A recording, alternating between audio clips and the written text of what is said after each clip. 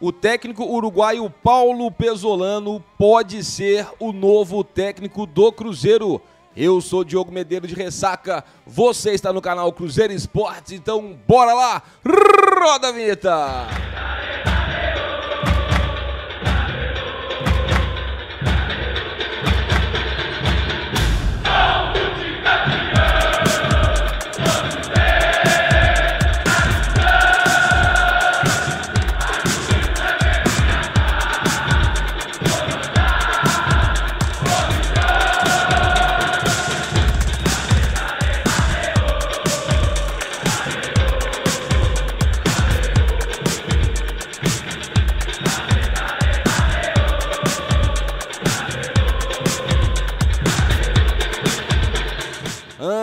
Mais nada, você que está chegando por aí, primeiro vídeo da temporada 2022 que está aberta na Cruzeiro Esportes, já falando aí que quem pode ser o novo técnico do Cruzeiro, mas você já sabe, chegou, dá aquele like, senta aí o primeiro like de 2022, se inscreve no canal se você está chegando agora e ativem as notificações. Lembrando que todas as minhas redes sociais e todas as redes sociais da Cruzeiro Esportes estão na descrição do vídeo. Me segue aí, meu filho, ó. Diogo Medeiros87 no Twitter e no Instagram. Bora lá que 2022 começou. Feliz ano novo para todo mundo que tá chegando aqui na Cruzeiro Esportes.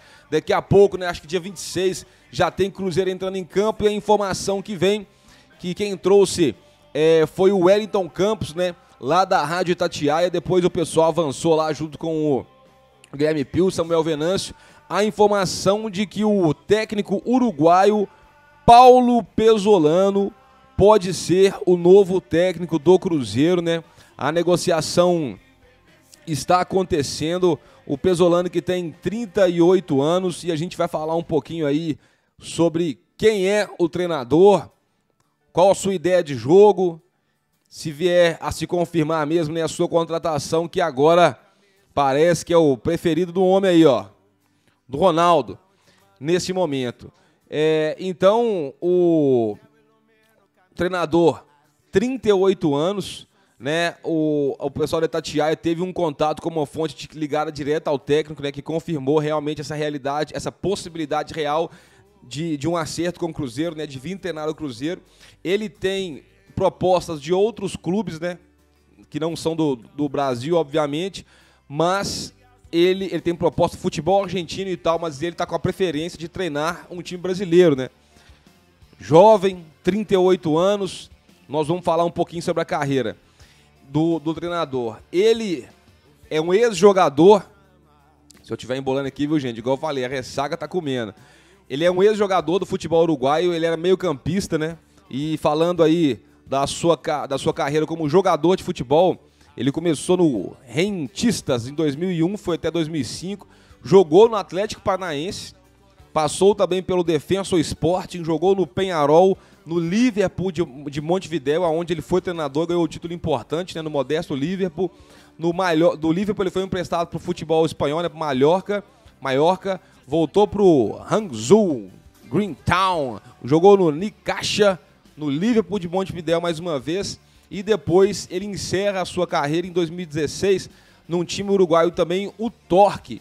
E depois ele vira técnico desse time, né, do Torque, que estava na segunda divisão do futebol uruguaio e ele sobe o Torque, né? Devolve o Torque à primeira divisão. Ele era jogador, depois assume aí como técnico. Aí, de 2017 até 2019, ele foi técnico né, desse, do Liverpool, de Montevidéu, aonde ele conquistou um, ele foi campeão do Clausura, né, do Uruguai. E o Liverpool lá é um time modesto, né, no futebol uruguaio, então teve grande repercussão esse título, né, do Pesolano é, comandando o Liverpool e ele também treinou o Pachuca, né, do México de 2019 até 2021, que inclusive foi o último clube, né, que ele treinou. É, a negociação segue em andamento e aí para a gente poder entender, conhecer um pouco mais quem, quem é o, o treinador, teve uma. Deixa eu ver se eu acho aqui, cara. Só para só pra dar os créditos direitinho. Pra não ficar feio, quer ver, ó? Ele deu uma entrevista pro canal. Como é que chama? Pro canal Future. pro canal Future. Inclusive, o, o nome da live que ele participou chama The Pitch Invaders. The Pitch Invaders com Paulo Pesolano, dando os créditos aí. E aí eu achei bacana, porque nessa entrevista, né, caso se confirme, quando essa tá em negociação, parece que ele, tem, ele quer jogar no futebol brasileiro e tal, então pode ser que real, o negócio realmente aconteça. Ele falou como é a sua forma de jogar, como que ele enxerga, né, como que ele gosta de jogar, qual que é a tática que ele gosta de jogar, como que ele analisa um elenco, né, e como que ele gosta de ensinar a sua filosofia de jogo. Eu achei bacana, vou até colocar aqui os fones para a gente poder acompanhar. A primeira coisa, do Paulo Pesolano. Como que é a sua forma de jogar, meu filho? É, eu gosto do time muito intenso, muita intensidade. Não? Eu gosto do time de recuperar a bola rápido.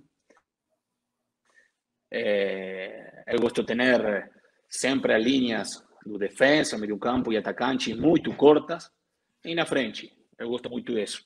É, eu gosto de ter a bola. Se eu gosto de ter a bola, tenho que recuperar é, muito rápido essa bola de novo. Depois eu gosto muito do 1-4-3-3. Es eh, esa táctica que, que eu gosto mais. Por qué? Porque tem volumen, te da volumen de jogo no medio campo, te da muita amplitude, te da um, extremos, eh, digamos, punteros extremos, eh, muita velocidade, muita amplitude no campo, laterales eh, muito ofensivos que ataquen eh, no, por, por dentro, por, por medio, por, dentro? por fora. Laterais por fora eu gosto por dentro? por dentro, gosto por fora. por fuera o por dentro, según características que tengan mi, mi, chime. Si yo tengo laterales que solo van por fuera, trato de que el extremo choque por dentro para que deje el carril para, para el lateral. Si yo tengo un lateral de buen pie eh, y que pueda hacerlo por dentro, yo gusto que se cierre, que se feche mucho, que, que yo que yo cerca do, do volante y que me dé amplitud extremo, eh, media ofensiva que ataque muito espaço para frente. Eh, eu gosto muito disso. Depois, os zagueiros, muito importante, que, sea, que tenha muita velocidade. Se eu tenho zagueiros lentos, eh, vai ser difícil que os laterais passem para frente. Então, aí é onde vem a matizes, não? Eh, de fazer bem como, como time. Pero a ideia vai ser a mesma. Eh, tenho que ver como eh, arrumar o time. É, Já deu para pegar um pouquinho ali, né, do que, que ele entende de futebol, né? Ele fala que gosta de um 4-3-3, de um futebol mais leve, poste de bola, gosta de partir para cima, né, de ter, de ter ali o domínio do jogo e outra coisa, né? Ele me parece que é dessa escola de que já sai jogando desde o goleiro, né? O goleiro participando efetivamente do jogo, ele vai falar mais disso daqui a pouco. É, que inclusive às vezes com um gesto de um goleiro, né? Como uma sinalização já tem que ter ali toda uma movimentação do resto do time. Vamos ouvir mais um pouquinho do que ele fala aqui. Dessa vez o Pesolano vai falar sobre a análise do elenco, né? Como é que ele faz para trabalhar, porque antes ele tem que ver o que, que ele tem na mão, né? Vamos ver o que, que ele fala sobre isso. É, a vezes que falta é, analisar muito mais, não? É o que está falando você. É, lo que mais mais importante eh, como treinador, primeiro é olhar o jogador que tem você, não? Eh, eh, obviamente eu tenho minha, minha ideia eh, e mi, mi maneira de, de, ver e vivir o futebol. Eh, nada mais que vou ter eh, muito matizes, não se fala eh, muito sim, sim, sim. matizes eh, para, para ver segundo o jogador que você tem. Porque se eu quero, eu gosto muito de sair jogando bola do, do baixo, do, do, do arqueiro, não? Do goleiro. Então, se eu não tenho zagueiro, eh, para fazer isso, eh, eu que buscar buscar matizes de eh, saltar primeira linha eh, ou sair zagueiro, que venga o lateral para, para buscar a bola, ou mediocampista. Então, você tem tu, sua ideia e tem matizes segundo o jogador que você tem. A ideia não vai trocar nunca. Por quê? Porque você, como treinador, eu creo uma maneira de un camino para ganar, un camino para, para triunfar. Entonces, yo no puedo eh, trocar esa idea mía porque va a salir mal, va a salir, va a salir ruin, ¿no? Entonces, tengo que, tengo que ir con mi idea, pero que, que seguir dirigiendo Chime. deu umas travadinhas ali, né? Mas é, foi da sua participação lá nessa live do The Pitch Invaders, né? Então dá pra gente ver aí outra coisa. A gente trouxe um vídeo aqui um tempo atrás da entrevista do Ronaldo lá do canal do, do Flow Sport Clube, né? Acho que é isso mesmo. E aí é, é, o Ronaldo justamente falando é, de como que deve ser a escolha de um técnico, né? E aí ele falando, ó, para escolher um treinador, primeiro você tem que saber, ó, como que o teu time quer jogar, como que você quer né, que as coisas aconteçam e tal. Aí depois tem que ver o elenco e sei o que e tal, e buscar é, técnicos, jogadores e tal, segundo essas características, né? O, o, o, Pesolano fala isso aí em outras palavras, mas no caso, falando da montagem do elenco, o Ronaldo estava falando ali de da escolha de um treinador, mas eu falo na questão do discurso, né? Um, um, um, um discurso meio parecido, né? Meio alinhado, que é o que a gente já imaginava, que eu pelo menos imaginava, né? Que o Luxemburgo não ficaria e que viria alguém mais ou menos nesse perfil, um pouco mais novo, a gente estava até falando desse Antônio Oliveira, agora vem o nome do Antônio Oliveira, é, que estava no Atlético Paranaense, agora vem o nome forte do Pesolano, que tem essa, essa ideia, né, esse pensamento, essa filosofia mais alinhado com o que o Ronaldo pensa, né? Pro futebol. E uma outra coisa que ele fala nessa entrevista é o seguinte: ele tem uma maneira diferente de jogar, né? O goleiro participa do jogo e tal, todo mundo é, é, envolvido, é, linhas compactas, 4-3-3, aproximação, ele fala muito sobre isso e tal. Mas como que você chega e implementa a sua filosofia, né, que é diferente e tal? Às vezes demora um tempo, né, para essa adaptação e nesse meio tempo, né, nesse processo, às vezes a pressão é muito grande. Achei super importante isso, é uma fala um pouquinho grande, mas é fundamental ouvir e aí depois a gente fecha o vídeo. Olha só o que ele fala sobre isso, é bacana. Muito convencimento, não?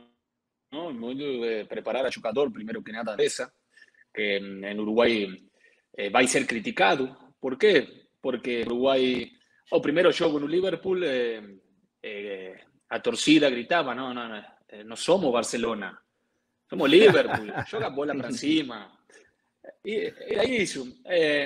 después a gente, a torcida, fueron acostumbrando, fueron viendo juego bom, Em, y eh, eh, Chime comenzó a ganar, entonces también ayudó mucho. Y, y hoy Liverpool, eh, a gente gusta que Liverpool juegue. Y, y, y, por historia y idiosincrasia de, Liverpool era jugar bola, segunda bola, y luchar, luchar, eh, brigar mucho por la bola. Entonces ahora trocó a cabeza a gente porque comenzó, digamos, Liverpool eh, conseguimos o primeiro título do, da história do Liverpool eh, e jogando muito bem. Então, isso foi trocando. Depois, o mais importante é o convencimento do jogador. Eh, se o jogador não está convencido, eh, você não vai poder eh, fazer esse jogo. E eu acho que todo jogador novo, jovem, não? viveu muito e vive muito, olha muito a time do Guardiola, do é, então gosta muito. E, e todo jogador quer jogar dessa maneira.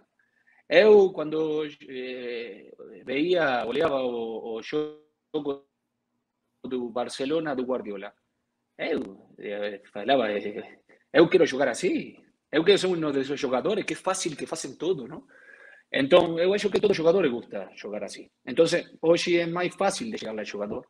Eh, hoy, al treinador que juega bola encima, el jugador no está convencido. Hoy trocó mucho eso. Entonces, hace más fácil convencer al jugador. Eso lleva mucho trabajo en el campo, mucho táctico, mucha automatización, ¿no? Tienen que automatizar movimiento, movimentación, tienen que...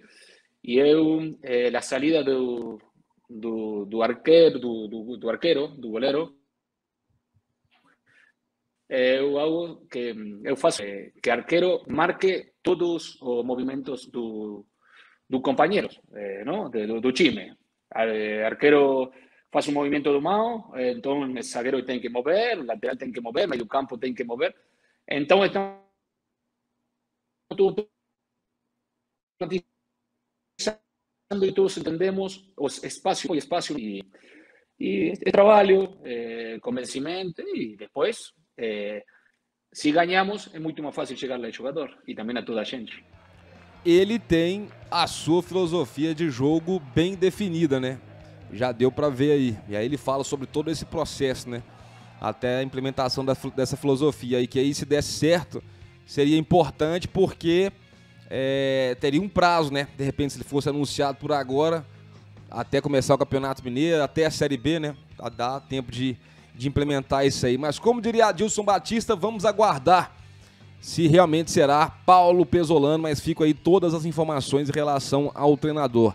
Se você chegou até aqui nesse vídeo, deixa aquele like, se inscreve aí no canal, ative as notificações, deixe seu comentário aqui embaixo, o que você acha do nome aí de Paulo Pesolano para ser o novo técnico do Cruzeiro. Dia 1 já está movimentado, amanhã aniversário do Cruzeirão Cabuloso e tem Ronaldo Fenômeno. Vamos lá, Cruzeiro Esportes, imprensa parcial e branca. Tamo junto.